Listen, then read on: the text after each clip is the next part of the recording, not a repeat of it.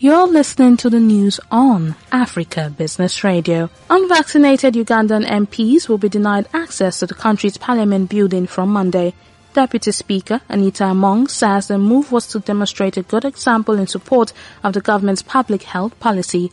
Nile Post reported that Uganda's parliament becomes the third state institution to ban non-vaccinated people following similar moves by the Ministry of Health and the government-run national medical stores.